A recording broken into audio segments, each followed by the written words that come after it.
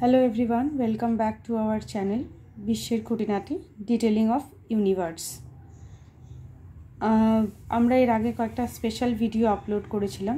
সেই স্পেশাল ভিডিওতে আমি তোমাদের সঙ্গে বেশ কয়েকটা স্পেশাল টপিকস নিয়েও ডিসকাস করেছি। রক্সের একটা পার্ট তোমাদেরকে দেখিয়েছি।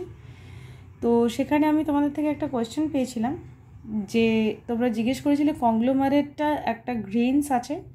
তবুও সেটাকে আমরা সেডিমেন্টারি রক্স বলছি কেন? ইগনিয়াস বলি না কেন? তার কারণটা হচ্ছে, এই যে গ্রেনসগুলো এই প্রত্যেকটা সাবস্টেন্স বা এক একটা সেল্ট এগুলো এক একটা হচ্ছে লেয়ার এই লেয়ারগুলো এক একটা সাবস্টেন্সগুলো এক একটা এরা বা এক একটা টাইম পিরিয়ডে এসে জমা হয়। এই যেহেতু এক একটা এরা বা এক একটা লেয়ার এক একটা টাইম পিরিয়ডে এসে জমা হচ্ছে, সেই জন্য সেডিমেন্ট ওয়াইজ বা লেয়ার ওয়াইজ ওই সেডিমেন্টগুলো জমা হয়ে হয়ে ওই জিনিসটা তৈরি হয় বলে এটাকে আমরা বলব সেডিমেন্টারি রক্স ইগনিয়াসটা সেইটাই, যেটা একমাত্র মাটির নিচ থেকে যে মিনারেলসগুলো আসে, সেই সমস্ত মিনারেলসগুলো ডিপোজিট হয়ে তৈরি হয়, সেটাকেই আমরা বলব একমাত্র ইগনিয়াস রক্স বাকি আর কোনো কিছু কিন্তু ইগনিয়াস রক্সের আন্ডারে পড়ে না।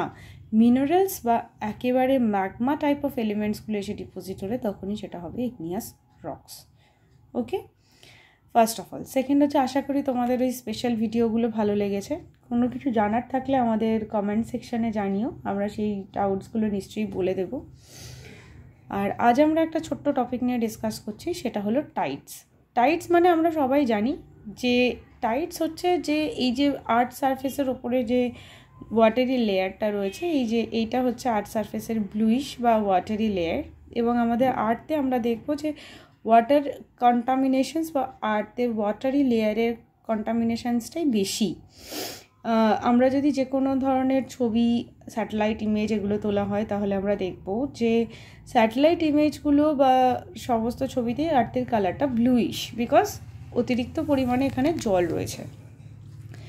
এই জলগুলো বিভিন্ন টাইম পিরিয়ডে কোনো সময় এই দিকে, কোনো সময় এই দিকে বিভিন্ন রকমভাবে বেড়ে যায় বা সাইজটা কমতে থাকে। যেমন ধরো, এখানে আমি তোমাদের দেখিয়েছি যে মুন আমাদের এখান থেকে three lakhs eighty four kilometre approximate ডিস্টেন্সে আছে। তো এইটা যখন অ্যাট্রাক্ট করবে, তখন কোন পজিশানে মুনের অ্যাট্রাকশন ফোর্সটা স্ট্রঙ্গার হবে? সেটা হচ্ছে এই অ্যাট্রাকশন ফোর্সের একটা পার্ট দেখো, যত যে লেয়ারটা মুনের কাছাকাছি থাকবে, সেখানে অ্যাট্রাকশন ফোর্স তত বেশি হবে। কেন হবে? তার কারণটা হচ্ছে যে মুন একটা অ্যাট্রাক্ট করবে, তো অ্যাট্রাকশন ফোর্সের জন্য ওয়াটারটা সেই সাইডে বেড়ে যাবে। এর টাইডসের অনেকগুলো কজ রয়েছে। প্রথম হচ্ছে interactions of the earth moon and sun interaction in the sense of আমরা জানি প্রত্যেকটা সেরেস্টিয়াল বডি এদের প্রত্যেকের মধ্যে একটা পার্টিকুলার অ্যাট্রাকশন ফোর্স আছে।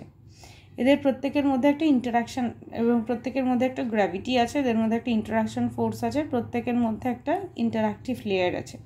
তো এই যে অ্যাট্রাকশন ফোর্স এই অ্যাট্রাকশন ফোর্স বা এটাকে বলা হয় ইন্টারাক্টিভ পার্ট এবং এই যে মানে যে ইন্টারাক্টিভ পোর্শনটা রয়েছে বা যে অ্যাট্রাকশন ফোর্সটা রয়েছে, সেই অ্যাট্রাকশন ফোর্সের জন্য কিন্তু এই অবজেক্টগুলোকে টানছে বা পুল করা হচ্ছে। এই যে পুলটা হচ্ছে বা অবজেক্টগুলোকে যে টানছে সেটার জন্যই কী হয়? ওয়াটারটা তো এবার বলবে সলিড পার্টিকেলসগুলোকেও অ্যাট্রাকশন করে। এরম তো নয় যে চাঁদ বলো বা সানি বলো, তারা শুধুমাত্র মুন অ্যান্ড সানে তাদের কোনো একটা স্পেশালিটি আছে যে তারা শুধুমাত্র একটা পোর্শনকেই অ্যাট্রাক্ট করবে ওয়াটার লেয়ারকেই করবে, কিন্তু সলিড লেয়ারকে করবে না। এরকম তো নয়। যারা প্রত্যেক পোর্শনটাকেই অ্যাট্রাক্ট করবে, কিন্তু ফ্যাক্টরটা হলো ওয়াটার লেয়ারের পার্টিকেলসগুলোর মধ্যে অ্যাট্রাকশন ফোর্স কম। হোয়ারাস সলিড লেয়ারগুলোর মধ্যে অ্যাট্রাকশন ফোর্স তাদের নিজেদের মধ্যে অনেক বেশি। এই সলিড লেয়ারগুলোর মধ্যে যেহেতু অ্যাট্রাকশন ফোর্স অনেক বেশি, তার ফলে সেই লেয়ারগুলো একই জায়গায় থাকে। সেগুলো কোনো দিকে মুভ করে না বাট ওয়াটারগুলো অ্যাট্রাকশন ফোর্সের জন্য মুভ করে যায়। এবার দেখো টাইটস আমরা মেনলি দুটো টাইপের দেখব, একটাকে বলা হয় স্প্রিং টাইট দেখো, এখানে আমি তোমাদেরকে দেখিয়েছি স্প্রিং টাইটের একটা পোর্শন এখানে দেখতে পাচ্ছ, এটা হচ্ছে আমাদের সান এই হলো মুন এখানে কি হচ্ছে না, এই সা এটা এটা হলো আর্থ এইটা হচ্ছে আর্থের অরবিটটা ঠিক আছে?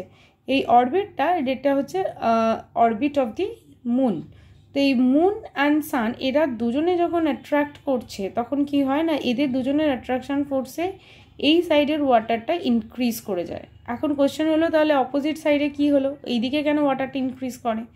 তার কারণটা হচ্ছে মুন বা সান এবং এরা যখন অ্যাট্রাক্ট করে, তখন তো তারা ওয়াটার বডিকে অ্যাট্রাক্ট করছে এবং জলের একটা ক্যারেক্টারিস্টিক্স হলো তাদের সব জায়গাতে ইকুয়াল লেয়ার বা ইকুইলিব্রিয়ামটাকে বজায় রাখা বা ইকুইলিব্রিয়ামটাকে নিয়ে চলা। ইকুইলিব্রিয়ামটাকে বজায় রাখতে গেলে কি হয় না, অনেক সময়তে একদিকে জল যখন বাড়বে মানে এই দিকে জল যখন ইনক্রিজ হবে ন্যাচারাল ওয়েতে এই সাইডটাও তখন ইনক্রিজ করে যাবে। এটা দেখো আরও একটা পজিশনে স্প্রিং টাইড হতে পারে। সেটা হলো সান একদিকে মুন একদিকে, আর আরেকটা হলো আর্থটা মিডলে তখন কি হবে না, এই মুন চাইবে, তার অ্যাট্রাকশান ফোর্সে বা এই সাইডে ওয়াটারটাকে ইনক্রিজ করাতে ওয়ারাস সান চাইবে এই দিকে ওয়াটারটাকে ইনক্রিজ করাতে। এর ফলে দেখো, দুটো সাইডেই মোটামুটি একটা ইকুয়াল লেভেলে ওয়াটারটা ইনক্রিজ করবে। এটাকে বলা হয় স্প্রিং টাইট নেক্সট হচ্ছে যেটা নিপটাইড। নিপটাইডে দেখো, নিপটাইডে অ্যাট্রাকশন ফোর্সটা উল্টো উল্টো হয়। মানে কীরকম মানে দেখো সান চাইছে যে এই দিকে এবং এই দিকে দুটো দিকে অ্যাট্রাকশন ফোর্সটাকে ইনক্রিজ করাতে।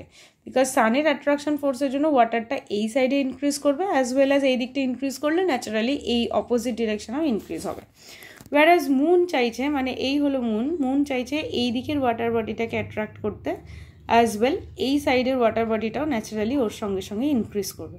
এখন দেখো ওয়াটার লেভেলের আমরা যদি এটাকে কম্পেয়ার করি, তাহলে দেখব যে ওয়াটার লেভেলের মধ্যে তোমার সানের সাইডে যে ওয়াটারগুলো রয়েছে, তার থেকে মুনের দিকে ওয়াটার লেভেলটা বেশি রাইজ করেছে। তার রিজনটা কি? তার কারণটা হচ্ছে মুনের অ্যাট্রাকশন ফোর্সটা অনেক বেশি বিকজ মুনের ডিস্টেন্সটা সানের থেকে অনেকটা কম। ঠিক আছে? এর ফলে কি হলো?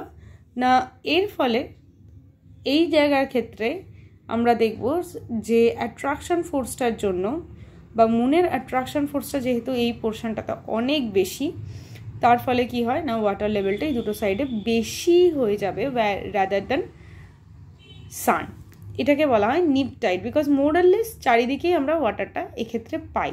সেই জন্য এই পজিশনটাকে আমরা বলব নিপটাইড নিপটাইড আরও একটা পজিশানে হয়, দেখো। কখনো কখনো যেমন এর আগেরটাতে আমরা দেখালাম মনটা এই সাইডে রয়েছে, এখানে দেখো মনটা হচ্ছে অপোজিটে রয়েছে, এই দিকে রয়েছে। ওকে এই হচ্ছে আমাদের আর্থের ইয়ারলি অরবিট অ্যান্ড তার ফ্যাক্টরগুলো তো মুনের অ্যাট্রাকশন ফোর্সে কি হয়? ওয়াটার লেভেলটা দেখো। মুনের অ্যাট্রাকশন ফোর্সের জন্য ওয়াটার লেভেলটা এই দুটো সাইডে ইনক্রিজ করছে। আর সানের অ্যাট্রাকশন ফোর্সে এই অপোজিট দুটো সাইডে ইনক্রিজ করছে। এটা হলো নিপ টাইট মানে এই ধরনের টাইটসে ওয়াটার লেভেলটা অতিরিক্ত পরিমাণে চেঞ্জেস আসে না। বাট স্প্রিং টাইডের ক্ষেত্রে আমরা যেটা দেখব, এটা হলো স্প্রিং টাইড সেক্ষেত্রে দেখো, এই পোলার পোর্শনে অলমোস্ট প্রায় ওয়াটার নেই। সমস্ত ওয়াটারই সাইডে চলেছে বিকজ সান অ্যান্ড মুন দুটোরই অ্যাট্রাকশন ফোর্সটা এক্ষেত্রে এফেক্টিভ আশা করি টাইটটা আমি তোমাদেরকে বললাম। নিশ্চয়ই কোনো কোয়ারিজ থাকলে জিজ্ঞেস করো। টাইটটা নিশ্চয়ই ভালো লাগল শুনে। যদি কোনো কিছু জানার থাকে ডিসকাস করব নিশ্চয়ই। আমাদের ভিডিওতে কমেন্ট সেকশানে লিখে পাঠিও। ভিডিওগুলো কেমন লাগছে সেটাও কমেন্ট সেকশানে জানিও। নতুন কোনো ভিডিওর কোনো কিছুর ওপর ডিমান্ড থাকলে সেটাও নিশ্চয়ই বলবে প্লিজ আর চ্যানেলটা আমাদের ভালো লেগে থাকলে লাইক শেয়ার অ্যান্ড সাবস্ক্রাইব করো। এর পরবর্তী ভিডিও আমরা ওশেন কারেন্টসের ওপরে কন্টিনিউ করব।